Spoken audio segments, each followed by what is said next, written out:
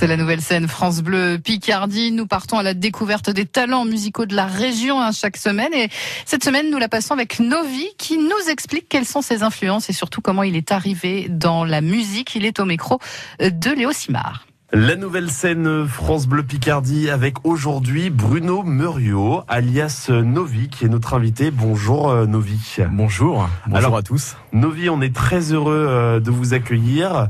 Racontez-nous un petit peu comment vous vous êtes euh, retrouvé dans le milieu de la musique.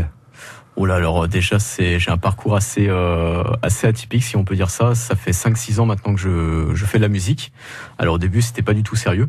J'ai commencé à écrire mes premières lignes, c'était à l'âge de, de 17 ans. D'accord. Et par la suite, euh, ça m'a plu en fait l'univers de l'écriture et euh, j'ai continué, j'ai continué jusqu'à ce que je trouve une cabine d'enregistrement. C'était au centre culturel de Clermont, là où j'habite, Clermont-de-Loise. Et euh, j'ai enregistré quelques maquettes. Euh, ça, je commençais à être, euh, à être un vrai passionné, si on peut dire ça. Et euh, j'ai commencé à regarder pour. en fait, en fait, je j'avais pas encore mon propre univers quand j'ai commencé. Mhm. Donc, c'est-à-dire que je, je m'intéressais à plusieurs artistes. C'est pas que je faisais des copies, mais j'essayais de trouver. je travaillais sur plusieurs sonorités. C'était pas forcément les mêmes, mais euh, pour moi, c'est ça ressemblait à de la copie et c'était pas ce qui me correspondait vraiment personnellement. Vous étiez en train de, de, vous chercher. Alors quand vous parlez Voilà. euh, d'artistes, euh, vous avez des noms à nous citer? Oh, il y, en- il y en a plusieurs. Euh, Kerry James, MC Solar. Alors au début, c'était pas vraiment mes, mes premières influences, c'était vraiment les, les rappeurs de il y a allez, il y a 4 5 ans qui étaient vraiment euh, dans on va dire dans dans plus dans le côté musical euh, commercial, si on peut dire ça comme ça. Mais euh, si je peux dire vraiment mes, mes influences à moi en ce moment, c'est ouais, c'est Grand Corps Malade, Kerry James, MC Solar. J'avais pas vraiment vraiment d'influence à l'époque. À la tombée de la nuit, le grincement d'un vinyle pour savourer mon instant. Une pièce rare sortie de ma collection, son mystère et son époque, embrassement dur présent. Ma passion s'exprime dans mon art véritable, dessine le répertoire de ma discographie. Je me représente sous ma signature, trace de ma pointure, courant pas les rues. La lune dans la peau d'un elle me semble si belle avec ses beaux airs. La nuit un repère, la forme d'un remède, l'aspect d'une faiblesse, enveloppe éphémère. À l'opéra Bastille, j'ouvre d'un voix Carmen. L'assistant des choix de cris, ses peines, je m'inspire du moral d'un grand chef étoilé.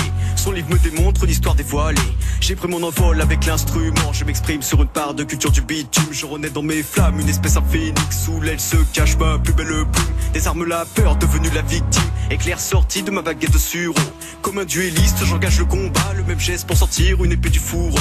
Qu'est-ce que vous adoriez euh, dans, dans, dans ces artistes? C'est quoi? C'est la voix? C'est euh, les mots? C'est euh, la musique? Un total peut-être? Le, pas forcément la, la sonorité qu'il y a derrière, mais plus le grain de voix et le sens des mots. Vraiment, moi, moi, je suis quelqu'un qui aime me prendre la tête sur les textes, et je trouve que le poids des mots, euh, il est vraiment très intéressant. La manière dont c'est, dont c'est écrit, comment c'est tourné, euh, les, le- les sources d'inspiration, j'aime beaucoup. J'aime beaucoup. Est-ce que depuis, l'inspiration, en tout cas l'univers, a été trouvé de votre côté? Moi, il a été trouvé. Ça y est, je suis en train de, de créer mon propre univers. J'essaye de mélanger le côté rap et le côté slam à ma façon. Donc ça, reste vraiment de la poésie, mais euh, j'essaie vraiment maintenant de, de, trouver des sonorités euh, qui font voyager, qui sont assez planantes et qu'on n'a pas l'habitude d'entendre dans, dans le milieu commercial, si on peut dire ça comme ça. J'admire les pensées de Molière, les contes, les écrits de Voltaire. Je m'intéresse à la philosophie, imposant l'idéologie.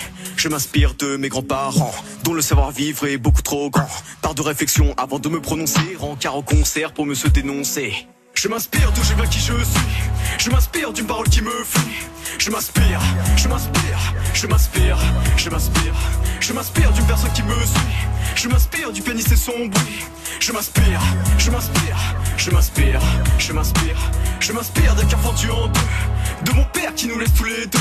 Je m'inspire, je m'inspire, je m'inspire, je m'inspire. Je m'inspire de ma ville et ses lieux. De la musique de mon rêve et son vaste milieu. Je m'inspire, je m'inspire, je m'inspire, je m'inspire. Il y a des artistes euh, qui ont profité de ces divers euh, événements, comme le Covid, la pandémie, le confinement, pour pour évoluer, pour se remettre en question. Est-ce que ça a été votre cas? Euh, oui, il y a une partie où ça a été, il y a une partie du Covid où ça a été, ça a été mon cas. En fait, j'ai beaucoup écrit, j'ai beaucoup écrit, j'ai essayé de trouver euh, d'autres façons d'écrire, si on peut dire ça comme ça, de trouver même des, des nouveaux mots. Parce que moi, je suis quelqu'un qui, euh, qui visite pas mal de musées, et qui, euh, qui lit beaucoup aussi. Et ça me permet de trouver des fois des mots qu'on n'a pas l'habitude d'employer dans le quotidien.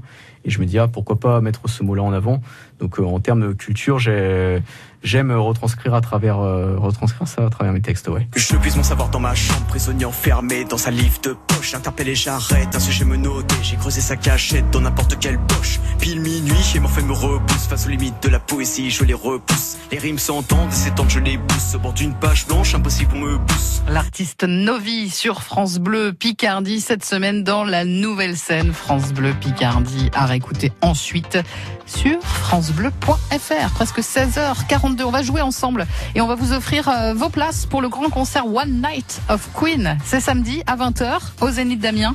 Concert tribute hein, du groupe euh, Queen. Premier concert d'ailleurs au Zénith d'Amiens depuis la fermeture euh, à cause du Covid et en grande pompe puisque c'est un très très beau spectacle hein, ce concert One Night of Queen samedi soir. Donc voici la question toute simple. Combien étaient les membres du groupe Queen au total? Est-ce qu'ils étaient 3 Est-ce qu'ils étaient 4 Ou est-ce qu'ils étaient 5 03 22 92 58 58. Combien étaient les membres du groupe Queen? 3, 4 ou 5 Il y a deux places à gagner pour le grand concert One Night of Queen samedi soir au Zénith d'Amiens. Et la nouvelle scène France Bleu Picardie s'intéresse cette semaine à un jeune slammer qui s'appelle Novi et qui va nous expliquer aujourd'hui ce qui l'a motivé à se lancer pleinement dans la musique. 12 avril 96, date de naissance. C'est ça. 25 ans. 25 ans, ouais. 25 ans. À quel moment il y a eu le déclic, la musique, parce que vous avez fait vos études en Picardie, etc. À quel moment vous vous êtes dit, ok, je vais mettre de côté euh, euh, mes études, ou pas forcément de côté d'ailleurs, mais je vais plus, euh, voilà, ça c'est ma passion. Il y en a qui jouent au foot, moi je fais de la musique. Bah, après mes études, après le BTS, euh, je pense que c'est là que ça a été le déclic parce que je continuais toujours bien sûr d'aller au studio à Clermont mhm. et, euh, et par la suite, je voulais vraiment me, me lancer, me, me, lancer en indépendant. Donc après, j'ai rencontré euh, David qui est maintenant mon compositeur. On travaille depuis plusieurs années ensemble. C'est le seul avec qui je travaille. On est deux sur le projet et, euh, et c'est à 20 ans que ça a vraiment été le déclic. Euh, j'ai, je me suis acheté un peu de matériel. Donc euh, j'ai travaillé avec le logiciel Cubase, j'ai, j'ai pris une carte son, des enceintes. Donc David, en fait, c'était votre ingénieur son euh, Même pas. Même, pas. L'ingénieur du son, c'était euh, Thomas Claire, que je salue d'ailleurs, qui, qui est du côté de, de Creil, à la, qui travaille à la Grange à Musique. Et David, après, par la suite, je l'ai rencontré. Et c'est vraiment celui qui produit toutes les musiques que l'on peut entendre sur chacun de mes titres. Je me démarque sur un écrit sous très foncé plus clair. Le sens du rap actuel n'est pas dans mon vocabulaire.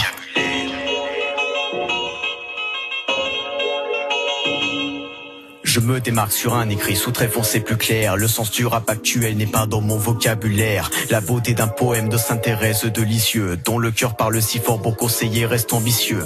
La vie cache bien des fleuves aux éléments perturbateurs. De la tristesse au sourire, le navire glisse sur mes pleurs. Regardez mon portrait, ce n'est qu'un cracheur de valeur. Un tableau sous l'expression d'un artiste et de sa pudeur. L'art s'est mis à nu, déshabillé par mon honneur. Ressentez un vécu, son goût, ses folies et ses odeurs. Impressionniste, illusionné, j'ai pris les yeux de Claude Monet mon pinceau avance, prend une cadence, bouge avec prudence. Je prononcerai ces mots avec le souvenir d'où je viens. À l'écart d'un effet de mode à la sortie du quotidien. Palper le contour du disque comme toutes les formes du féminin. Chacun renferme un trait sur le savoir-faire dans son écrin. Armé de la langue française, un coupeur de langue de vipère. Un mystère en défoulement sur un micro libre service. Je ne suis pas un vendeur à la poursuite du business. Je suis devenu le poète dont la plume pointe mes promesses. Donc euh, vous avez investi dans du matériel, la MAO. C'est ça. Musique euh, assistée par ordinateur. C'est ça. Et euh, je me suis enregistré euh, moi-même. En fait, mon premier petit projet, si on peut dire ça comme ça, c'était une carte de visite. C'était le projet 4 lettres. Parce qu'à l'époque, je m'appelais Novi avec un seul V.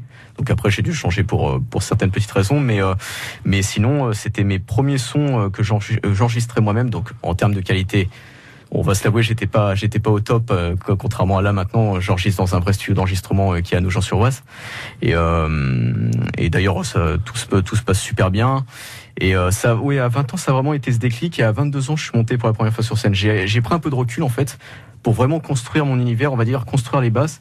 Et puis après, je me suis dit, ben, je regarde sur Facebook les scènes ouvertes qu'il peut y avoir, et puis je me lance tout seul. Là, je continue, hein, je contacte les programmateurs. Euh, moi, je veux l'as de trêve sans l'émotion du point au cœur. Le croupier tire sa révérence, la paire gagnante de mes secrets. Talentueux dans un temps, sur la trotteuse d'une horloge. Je m'endors sur les critiques avec une couverture d'éloge. De la première maquette au dernier contrat.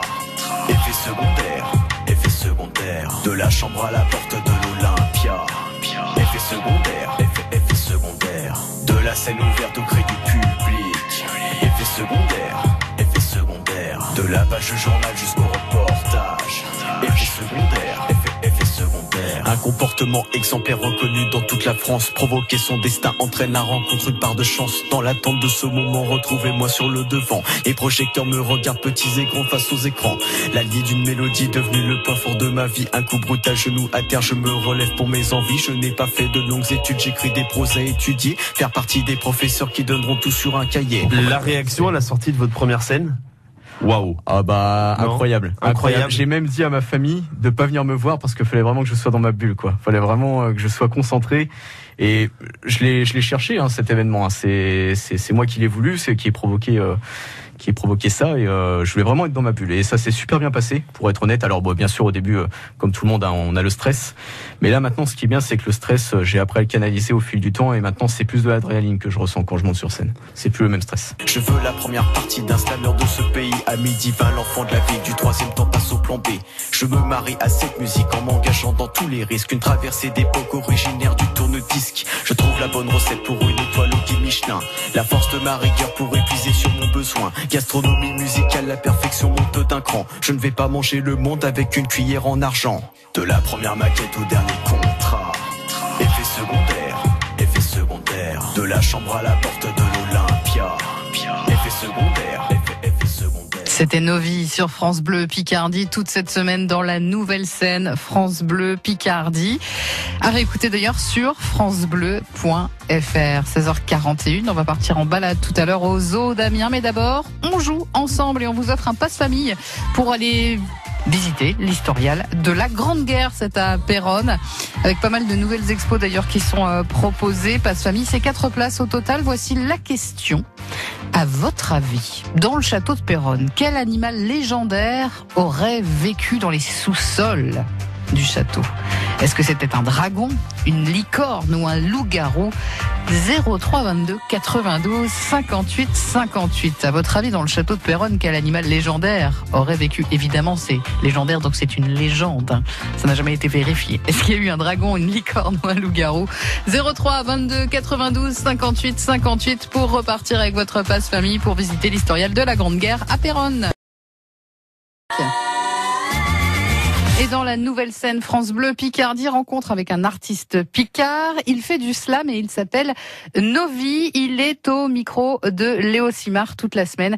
Et aujourd'hui, Novi nous en dévoile un peu plus sur un album et sur ses envies. Il y a des envies un peu particulières euh, qui se créent au fil, euh, au fil du projet Ah bah là, dans là, euh, moi j'aimerais euh, décrocher la première partie d'un artiste. D'accord. J'aime, en fait, j'aimerais passer du, du statut scène ouverte à maintenant première partie. Et par la suite, je veux pas brûler les étapes en fait. Première partie, puis après décrocher ma première date. C'est, ce que j'aimerais. C'est, bah, je pense, c'est le rêve de tout artiste hein, qui débute. C'est vraiment décrocher la première date et euh, avoir vraiment ma date solo à moi. Donc, que ce soit une petite salle ou autre, hein, c'est là-dessus on n'est pas compliqué. Mais euh, ouais, la prochaine étape, c'est première partie d'un artiste. Il y a un nouvel EP, un nouvel album qui est sorti, qui va sortir, parce qu'il y a plusieurs euh, titres. hein. Il y a Diamant Yes. Rare, il y a Flamme Noire, il y a Effet Secondaire, entre autres, qu'on peut retrouver sur, euh, sur euh, votre YouTube. C'est quoi? C'est l'annonce d'un nouvel EP, d'un nouvel album? Alors c'est c'est des morceaux qui sortent au fur et à mesure, on va dire tous les deux mois. C'est pour pour euh, faire comprendre aux gens, aux gens pardon que la construction d'un d'un album, si on peut dire ça comme ça, vraiment d'un d'un premier album. Alors ce qui est un, moi je trouve ça intéressant, c'est que le, on va pas sortir l'album d'un coup. C'est que l'album, entre guillemets, il est déjà sorti parce qu'on sort les morceaux au fur et à mesure, au fil du temps, et euh, ça nous permet de, en même temps que les gens ils apprécient notre univers, qu'ils prennent le temps d'écouter les paroles, et qu'en même temps on construise l'album en fait. Alors moi, ce que je trouve intéressant également, c'est quand on va sur votre chaîne YouTube, Diamant Rare, c'est clairement une vidéo de vous en studio derrière un micro. C'est ça. Flamme Noire, c'est carrément un clip. C'est un clip, c'est notre premier clip d'ailleurs qu'on a tourné à Clermont et euh, et on l'a fait tout seul. On l'a fait en, en- vraiment en, en en indépendant. autoproduction, en indépendant. Exactement, parce que voilà, nous on est vraiment, euh, c'est pas qu'on est fermé, mais on veut montrer aux gens euh, notre volonté, notre motivation à travers notre univers. C'est-à-dire que voilà, on on n'est pas signé, on n'est pas dans un label, on n'est pas dans une grosse boîte de prod, mais euh, on fait le boulot et on se dit que si on montre euh, qu'on ben, nos valeurs et qu'on est motivé, on peut avoir une place dans, dans ce milieu. Déjà que c'est très dur, donc euh, on veut on veut à tout prix travailler là-dessus. De la première maquette au dernier contrat. Effet secondaire, effet secondaire. De la chambre à la porte de l'Olympia. Effet secondaire, effet, effet secondaire. De la scène ouverte au gré du public. Effet secondaire, effet secondaire. De la page journal jusqu'au reportage. Effet secondaire, effet, effet secondaire. Si on pouvait définir votre univers en quelques mots. Je dirais déjà en premier mot poésie, très poétique, euh, sincérité, euh, valeur, parce qu'en euh, histoire aussi. En fait, j'essaye vraiment à chaque morceau d'introduire un sujet. Voilà, c'est-à-dire que l'effet secondaire, par exemple, quand on l'écoute dans le refrain, je dis de la première maquette au dernier contrat, le dernier contrat que je signerai peut-être dans un, un, label un jour, qui sait. Et je dis même de la chambre à la porte de l'Olympia, c'est ma, ma motivation, mon envie à vouloir me projeter en fait euh, d'aller jusqu'à jusqu'à l'Olympia. Mais ça reste un effet secondaire pour l'instant. Voilà. C'est un effet secondaire. On espère que ce sera un véritable euh, effet. C'est ça. Euh, Flamme Noire, du coup, le sujet? Alors Flamme Noire, je je parle d'amour, mais d'un côté très sombre. Ce qui est intéressant avec Flamme Noire, c'est que il y a y a le premier clip qu'on a sorti avec mais c'est une, ça prend une tournure, c'est-à-dire que c'est le premier morceau où on, on, a, on travaille sur une nouvelle sonorité. C'est-à-dire quand on écoute Flamme Noire, ça, ça fait voyager, même en fermant les yeux, on a l'impression que voilà, c'est ça, ça, peut être même une musique d'un film qui était assez sombre, etc. Et, euh, et c'est intéressant avec Flamme Noire parce que c'est vraiment le côté négatif euh, de l'amour. J'ai déjà sorti un morceau par rapport euh, Diamant Rare, par exemple, où euh, je décris vraiment euh, la, la, femme d'une manière bah, très douce, très sensuelle. Voilà, il n'y a pas du tout de, de côté négatif. Et, euh, et là, c'est le contraire, mais c'est plus en termes de relation. En fait, c'est très sombre. J'essaie vraiment d'aborder plusieurs sujets. On déclare une flamme, quitte à en déchaîner les pluies. Elle brûlera tout sur son passage, détruira le seul abri. Face au retour de flamme, une leçon que l'on a appris. Un souffle pour ne plus la voir. Difficile de la détruire. Dans une colère sans ravage. Elle éclaircit notre noirceur. Cette flamme brûle tout un bonheur. Naissance de nos douleurs. Elle est fine, le teint foncé la fera fuir. Elle est partie, témoin de la mort de cette relation. Un bouquet de fleurs embrasse le pied d'un cercueil. Ciel assombré, un esprit clair. Poète meurtri, son dernier vers. Dans ses yeux profonds, nous de nous vivons. Des paroles en brûlure, nous de nous lisons.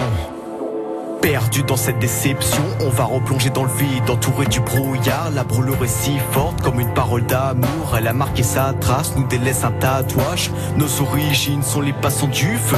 Laissons en chantier la pièce où nous étions deux. Une fumée épaisse étouffa de nos voeux, posés sur une braise dans un corps en détresse. C'est l'artiste Novi sur France Bleu Picardie dans la nouvelle scène tout au long de cette semaine. Et puis vous pouvez le retrouver aussi sur francebleu.fr en réécoute. Il 5h moins 20. C'est Barbara Pravi, coup de cœur France Bleu qu'on va écouter avec euh, Saute. Et puis dans quelques instants, on partira en balade en Picardie à bord d'une montgolfière. Mais tout d'abord, nous allons jouer sur la première radio de la Somme.